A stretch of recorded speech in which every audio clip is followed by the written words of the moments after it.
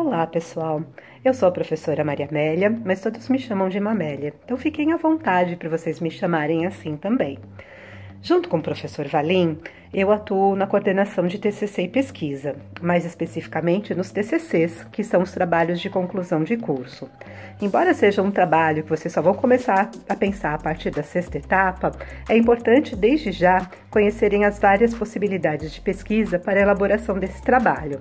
Durante o curso, vocês terão várias disciplinas com vários assuntos e atividades envolvendo temas relevantes para um trabalho de pesquisa.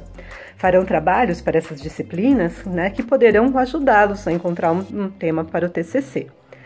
Assim como a iniciação científica, que o professor Valim deve ter apresentado num outro vídeo, o TCC é um trabalho de pesquisa feito junto com um professor orientador, e esse professor ele vai ajudar a resolver um problema relevante da área de computação. Então não é um trabalho qualquer, né? É um trabalho que vocês vão ter três semestres para elaborarem. Uh, então é importante que vocês escolham um tema que vocês gostem, que vocês tenham interesse, né? E é um tema onde vocês né, podem aproveitar essa oportunidade para é, aprofundar, né?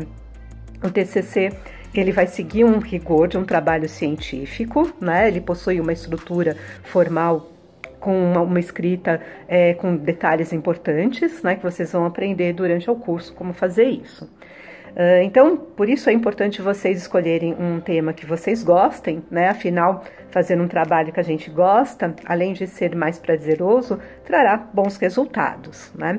Um bom TCC, ele vai para o currículo de vocês, né? Então, ele pode enriquecer o currículo e abrir portas na busca de um novo emprego, né? E um emprego que seja adequado aos interesses pessoais de vocês, né? Além disso, ele também pode abrir porta, principalmente para pós-graduação.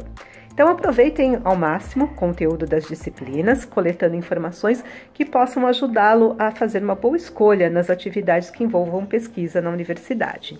Então sejam muito bem-vindos ao Mackenzie, né? Estou à disposição de vocês para tirar quaisquer dúvidas a respeito do TCC, né? Então espero que vocês sejam muito felizes aqui dentro, né?